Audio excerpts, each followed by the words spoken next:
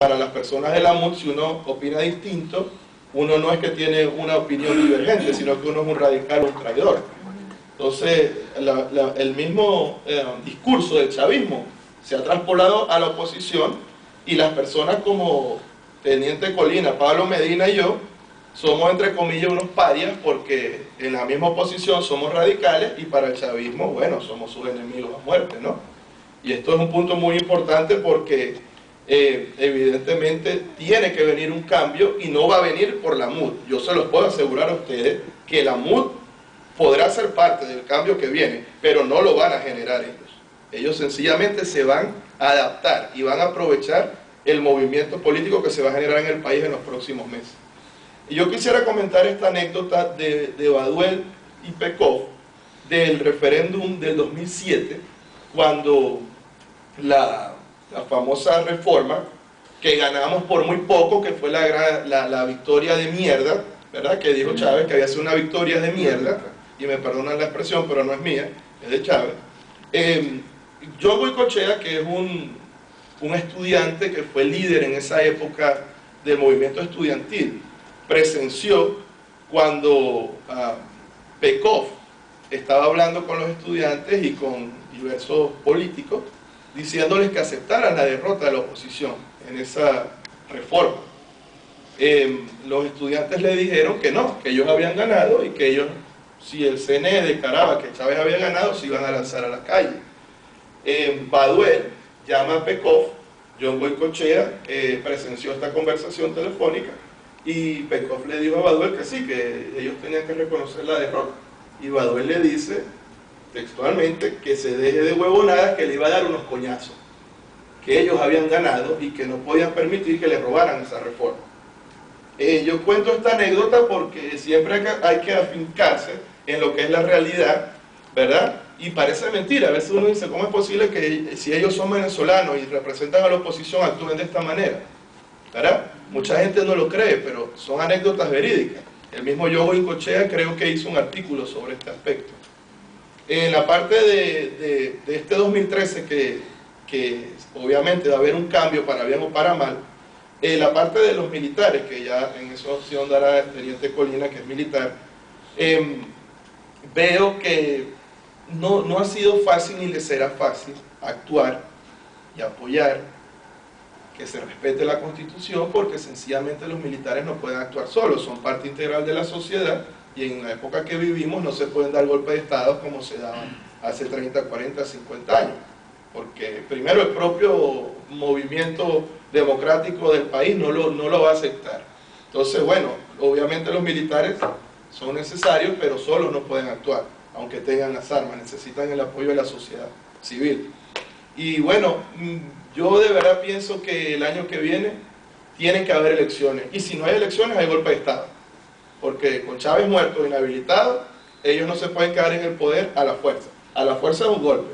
Y si no es por la constitución y es elección. En esta parte de la sociedad civil es muy importante y bueno, en las pocas palabras que tuve ahorita con Pablo afuera conversando, es la organización la organización de la sociedad civil, porque espontáneamente la gente no sale a la calle, eso no existe. Si no hay liderazgo, mucho menos. Entonces, en este aspecto es importante, por ejemplo, Jim Sharp. Yo lo he mencionado en mis últimos artículos, porque este es un hombre eh, que su filosofía y los libros que ha escrito han ayudado para derribar muchas dictaduras, sobre todo hace poco en la primavera árabe, eh, los dictámenes de Jean Sharp fueron usados por la mayoría de esos países. A lo mejor lo hicieron inconscientemente, pero lo que hicieron es la filosofía de este hombre. Em, este aspecto es importante porque es la teoría de la resistencia no violenta. No se puede luchar contra un régimen que tiene las armas con armas porque no tenemos. Nosotros lo que tenemos es la fuerza moral, la convicción, tenemos la verdad en la mano, somos la mayoría, porque sabemos que la mayoría del país es democrático no solo la parte civil, sino también la parte militar. Entonces esto es muy importante. Yo, por ejemplo, lo voy a empezar a trabajar mucho a partir de mis próximos artículos, porque como sé que el 2013 va a ser un año de convulsión social, la gente tiene que leer, tiene que organizarse. Y métodos como los de Gene Sharp son efectivos, se ha comprobado que funcionan, y sirven de lineamiento para que se vayan surgiendo los pocos líderes que poco a poco van a ir eh, canalizando el descontento y llevando a la sociedad civil a tomar los pasos necesarios. Eh, fundamentalmente, ¿en qué se basa la teoría de Jim Sharp? Bueno, se basa en que el poder, como sí, no es monolítico y que no es una cualidad intrínseca de aquellos individuos que están en el poder. El poder político o el poder de cualquier Estado independiente de su organización estructural interna deriva de los individuos del Estado. La creencia fundamental es que toda estructura de poder se basa en la obediencia de los sujetos a las órdenes de los dirigentes. De esa forma, si el sujeto no obedece, los líderes no tienen poder. Esto no solo se aplica a la dictadura que nos está oprimiendo, esto también se aplica a los supuestos líderes de la oposición.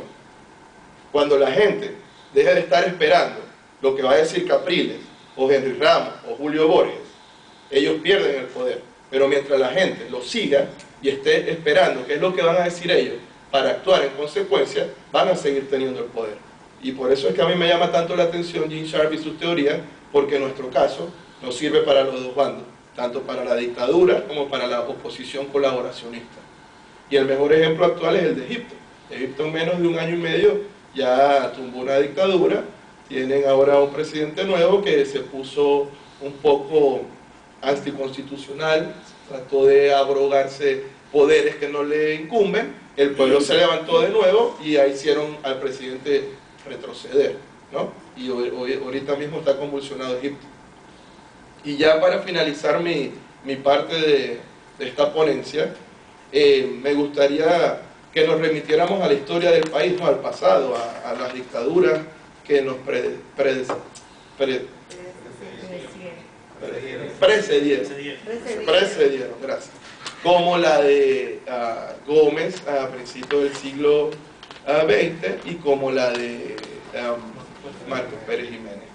¿Por qué? Porque muchas personas dicen, no, que el venezolano es cómodo, que el venezolano es cobarde, que nunca vamos a salir de estas dictaduras, que no sé qué, que es imposible, que así Chávez muera, queda Diosdado, Maduro y ellos tienen el poder y los venezolanos nunca se van a, a rebelar. Ah, yo difiero totalmente de ese aspecto porque Venezuela es un país que genéticamente lleva el germen de, la resistencia.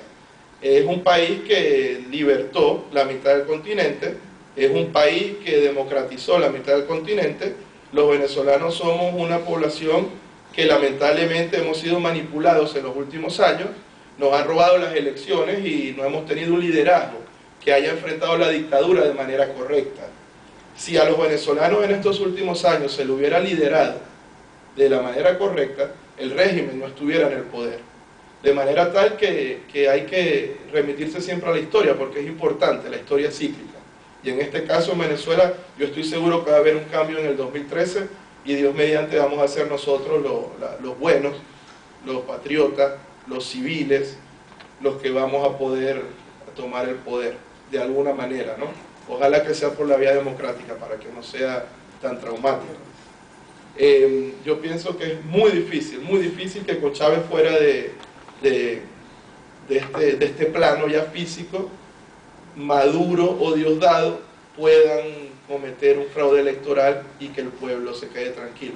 Ya sin Chávez se le va a hacer muy, muy difícil desde mi punto de vista. Y creo que, que el afán va a ser determinante, la Fuerza Armada Nacional, los institucionales. Eh, y creo que vamos a lograr, movilizándonos, de que el CNE el año que viene se pueda depurar y creo que vamos a ir a una elección con un CNE imparcial, donde vamos a estar en condiciones igualitarias. Eso es lo que yo pienso personalmente que podemos lograr el año que viene si se canaliza bien el descontento, si se crea y se organiza de verdad un movimiento nacional democrático que abarque todos los sectores y que entienda el proceso histórico que estamos viviendo. Y evidentemente, bueno, todos los, fa los, factores democráticos de la patria, no solo los que están en Venezuela, sino los que estamos afuera también, vamos a ser determinantes para influir en este cambio de régimen que, vuelvo a repetir, Dios mediante, será para recuperar la libertad de la patria. Con eso yo quiero concluir mi parte de la ponencia y le doy al teniente José Colina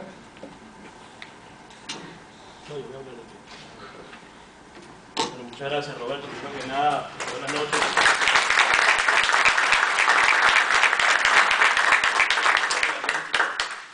Eh, tremenda exposición, creo que explicó al detalle, ¿verdad? Eh, cuáles son, cuál es el escenario que se maneja en este momento y qué se puede visualizar a futuro y pienso que Pablo va a dar una explicación mucho más detallada desde el punto de vista constitucional y desde el punto de vista de lo que está viviendo Venezuela en este momento, qué es lo que pudiese ocurrir. Me corresponde a mí hacer un análisis de eh, cómo se encuentran las Fuerzas Armadas en este momento y de que, en, qué estado se van a encontrar a la hora de que se den todos los escenarios que ha planteado Roberto y que a futuro va a plantear Pablo Medina.